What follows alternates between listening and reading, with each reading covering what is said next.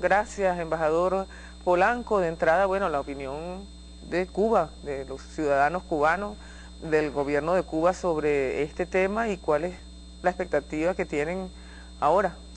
Bueno, indignados estamos todos los cubanos ante lo que sabíamos que era ya una farsa.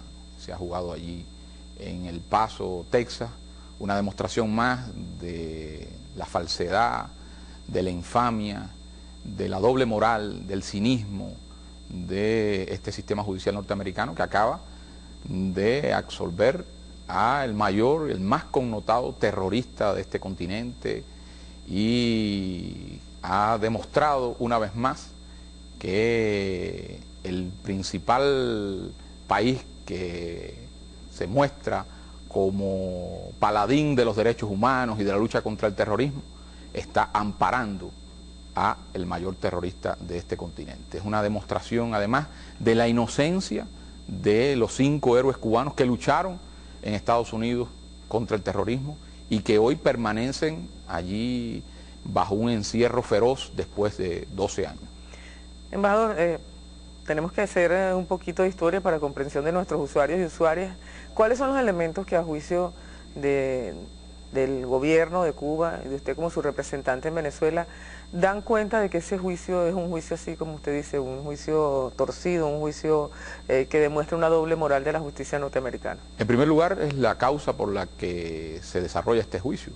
Posada Carriles no estaba encausado como terrorista, como lo evidencian las numerosas pruebas que durante décadas posee el gobierno de Estados Unidos y numerosas instancias internacionales de sus actos criminales contra el pueblo cubano, agente connotado de la CIA desde los años 60, participante activo en las más importantes acciones de terror contra Cuba, en la planificación y la ejecución de aquel horrible atentado del avión de cubana de aviación en el año 76, que provocó la muerte de 73 personas inocentes, que fue importante conductor y ejecutor de las acciones contra los hoteles, acciones terroristas contra los hoteles en Cuba en el año 97, del intento de atentado contra nuestro comandante en jefe Fidel Castro en el año 2000 en Panamá, y en todas estas acciones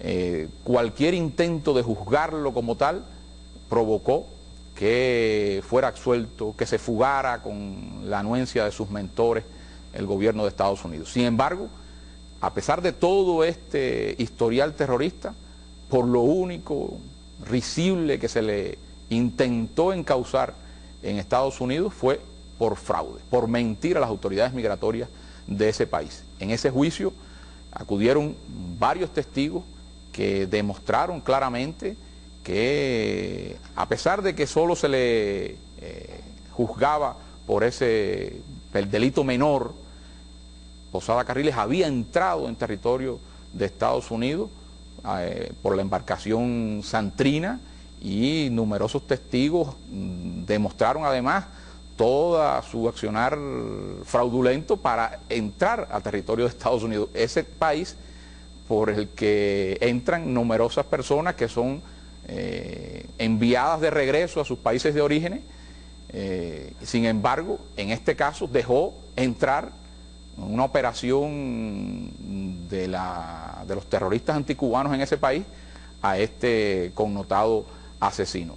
Por eso decimos que es una farsa. Y a pesar de que fue una farsa, de que solo se le intentó juzgar por esta razón, mm, no fue posible es una demostración de que entonces el sistema judicial norteamericano no es capaz ni de juzgar ni de condenar a un asesino ni por el menor delito cuando tiene que ver con la verdadera justicia, con una relación mm, en relación con Cuba, por ejemplo. Todo lo que tenga que ver con Cuba en el sistema judicial norteamericano termina en farsa. Lo que va a ocurrir es que él queda completamente libre en territorio norteamericano. Ha estado un ciudadano libre, allí. Ha estado libre Tania durante todos estos años, ha hecho declaraciones de prensa, ha participado en mítines políticos. Recientemente Posada Carriles dijo en la prensa norteamericana que este año mm, estaremos en Cuba. Ya nosotros eh, fuimos, eh, decía exactamente, te lo voy a leer aquí, este año estaremos en Cuba, ya ganamos, pero todavía no cobramos.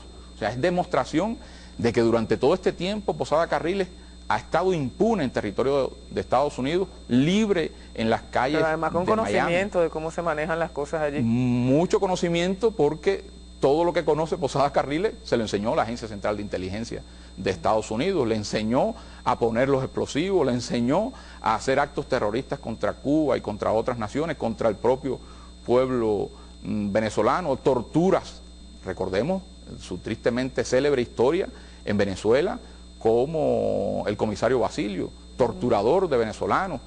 Y recordemos que está pendiente eh, su, eh, eh, digamos, acción judicial, su juicio en Venezuela por el crimen del, avión. de cubana de aviación. Sí, sin embargo, el gobierno de Estados Unidos, uno de sus portavoces, dijo hoy estar decepcionado por la decisión de la justicia. Va a leernos la noticia, Gonzalo.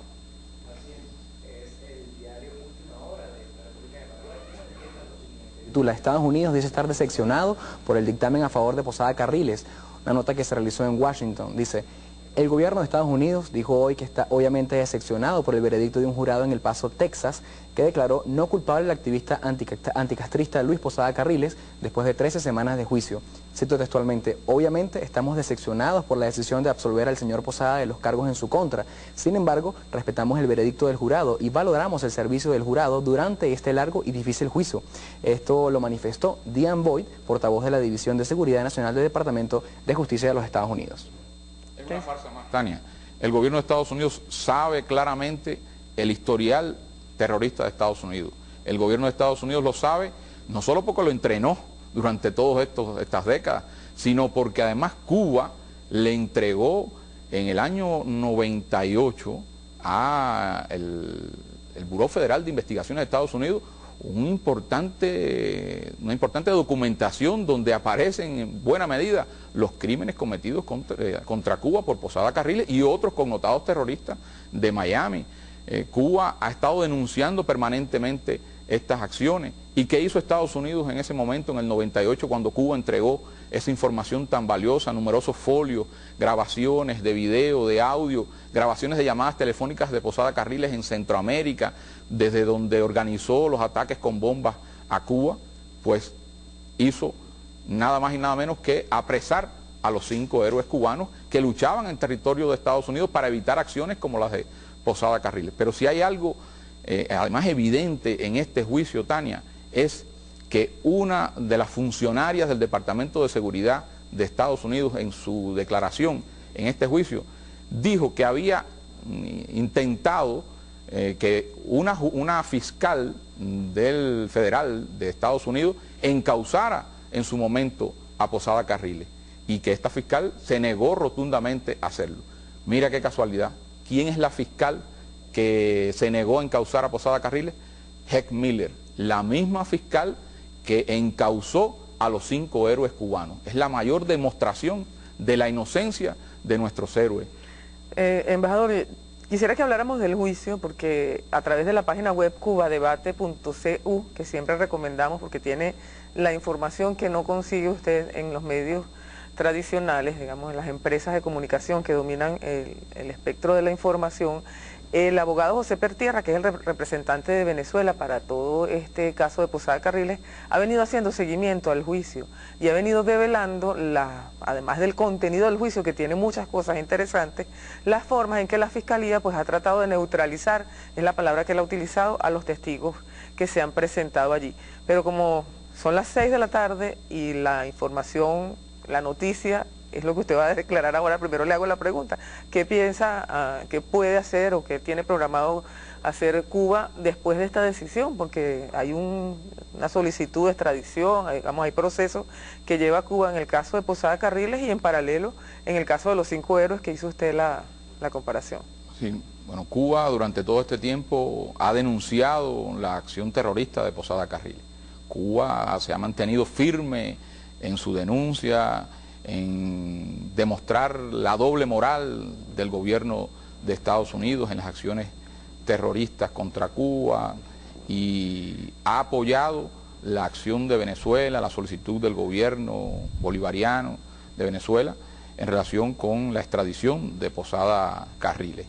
Cuba continuará denunciando en todo momento, en todo ámbito internacional, por todos los medios a nuestra disposición, el accionar terrorista de este asesino y la doble moral del gobierno de Estados Unidos y demostrando una vez más la inocencia que recae sobre los cinco héroes cubanos. O sea, creo que lo que ha pasado hoy, el veredicto de esta corte, la decisión de esta farsa en El Paso, Texas, lo que demuestra una vez más es cuán eh, importante ha sido la lucha que durante todo este tiempo ha llevado adelante el pueblo cubano por su derecho a la independencia, a la autodeterminación, a la soberanía, que ha sido siempre, ha tenido el obstáculo de las acciones terroristas de Estados Unidos y, creo que lo que estamos viendo hoy reafirma nuestros principios, reafirma nuestra lucha y por eso estamos seguros que hoy, eh, con la indignación de los familiares de aquellos que perdieron su vida en aquel horrendo crimen del avión de Cubana en el año 76, los que sufrieron torturas aquí en Venezuela eh, a cargo de Posada Carriles, hoy alzan su voz más fuerte que nunca para denunciar la injusticia. Eh, tiene por allá Gonzalo testimonios de las víctimas, pero les decíamos a ver si podemos mirar, esta es la página cubadebate.cu que ha estado también citando Gonzalo, el diario de Del Paso, alegatos finales, ese es el título de la serie que ustedes pueden encontrar allí, donde el abogado José Pertierra, que es nuestro defensor, el defensor de Venezuela, ante este caso y también como parte de la serie Las razones de Cuba, cuenta las incidencias del juicio. Cuando él habla comienza Teresinski, se refiere a Jerón Teresinski, el fiscal, que está eh, exponiendo aquí las razones, y fíjese que citándolo textualmente, dice, la historia del caso comenzó en 1997 con las bombas en Cuba. La evidencia demuestra que el señor Posada planeó los ataques para vengarse de Castro y admitió su involucramiento en la conspiración. Son palabras de la fiscal, perdón, del fiscal norteamericano y sin embargo estos alegatos, que además hay muchos, hay testimonios de las personas que trasladaron el dinero, que recibieron el dinero, que recibieron la instrucción, eh, se habla de las incidencias del viaje eh, que sustenta la mentira de, de, Posada, todo eso está allí, y sin embargo estos elementos no forman parte ni siquiera de la acusación. Tania, mira, por allí pasaron, primero la periodista que entrevistó a Posada Carriles en el New York Times en el año 98, donde Posada recuerda y se jacta de haber puesto las bombas contra los hoteles en Cuba y que recibió financiamiento de la Fundación Nacional Cubano-Americana. Por allí pasó la persona que viajó en el barco Santrina, que introdujo a Posada Carriles, un terrorista en territorio norteamericano, en el año 2005. Por allí pasaron varios testigos cubanos eh, que demostraron las acciones terroristas en los hoteles en Cuba en el año 97, la muerte de Fabio Di Chelmo, el ciudadano italiano que muere producto de las bombas colocadas por secuaces enviados por Posada Carriles. O sea, por allí pasó una cantidad de testigos que demostraron fehacientemente no solo que Posada Carriles es un mentiroso como eh, era la intención única de la Fiscalía y lo que le impidió por todos los medios la jueza que no pasara por ninguna parte la palabra terrorismo en este juicio. Sin embargo, ahí están las evidencias. Yo creo que esto es una demostración más de que se ha intentado escamotear la verdad una vez más en el sistema judicial norteamericano.